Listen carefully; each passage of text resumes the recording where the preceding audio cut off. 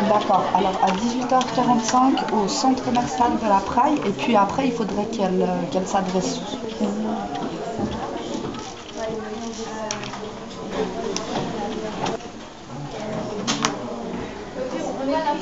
Ah, Et puis ça se passerait comment? C'est en interview.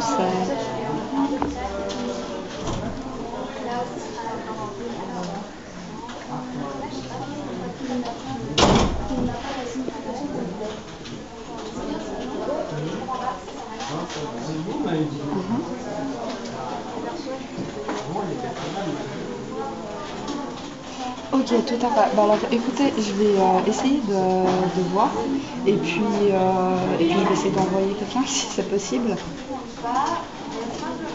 D'accord, il n'y a pas de souci. Bah, en tout cas, je vous remercie pour tout et euh, je vous souhaite une bonne fin de journée. Au revoir. Alors, en fait, j'étais en votre info. Le truc, c'est que ce serait euh, à 18h45 au centre commercial de la Praille. C'est l'aimant bleu Ouais. C'est cool, c'est la télé. T'es encore meilleur qu'à la télé, la Navaït. C'était encore plus clair. plus clair. Ouais, à la télé c'était un peu stress.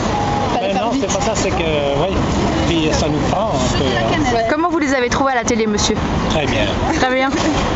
Elle parlait, comment elle parlait Allez, c'est pour leur projectivisme. Vous allez pas passer à la télé, vous inquiétez pas. Non, non, non, non, pas de problème. Non, j'ai trouvé que la présentation, elle était bien faite, Ouais. bien exprimée, très claire. Et puis, euh. Vous, aviez fait une recherche, on, voyait que vous, saviez de quoi vous parlez. C'est ça qui est important. Merci. C'était c'était dur, mais ils nous ont mis au courant un peu tard, donc on a essayé de faire comme on pouvait.